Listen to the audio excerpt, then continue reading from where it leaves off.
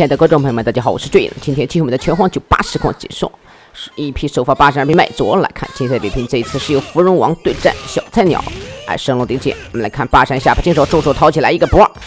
哎，继续跳飞反身位，但是差点被勾一爪。我们来看一个波顶过，死亡之爪三式，只打出两式来。八山重手前金手又点上一个葵花，葵花勾跳飞下盘过去，跑跑过去又一个地波，感觉九八做的还是相当平衡的。但是八神依然很狂，下巴青腿偷盗，麦卓现在被打的不知道该如何是好啊！只怪这个八神放战斗力太强了，直接打晕一个升龙带走，直接晋级到了第二场。第二场来看小菜鸟的这个克里斯，其实名字叫小菜鸟，但是他并不是很菜，并不菜啊，还是很还是一位高手。百合折下巴青腿，八神小跳青腿，你看连续的压制之下，这一个下周腿根本就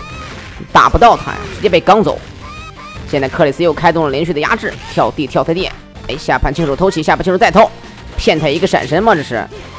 哎，巴山继续让下一波机会，双方是一招一式的在对阵。巴山小跳 C，重手梦弹一个小葵，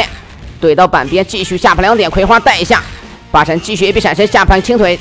轻手又接一个葵花，哎呀，这种压制方式让对手根本就是无力还击啊，让对手感到崩溃了，真。下面来到了第三场，第三场我们来看小菜鸟的大门，哎，重爪一挠一个地坡，重脚踢开，来看八神还是被踢，哎，地雷震一下，大门继续跳地轻手接摔一个切柱反，八神这一次可能是要跪了，这个血量，哎，如果这哎重手擒金手八神女打空，他肯定是跑不了了，一个天地反带走，直接让我们晋级到下一场，第四场，第四场来看芙蓉王的克里斯出场。哎，克里斯一个小跳，大门也不闪身去寻找机会，刚一下 C D，刚到之后连续的 A B 闪身，克里斯也在寻求一个爆发点呀。哎，滑步，双方相杀，大门头上扶好像有点太急了。哎，克里斯又不动了，我们稍等他一下，现在正式开始。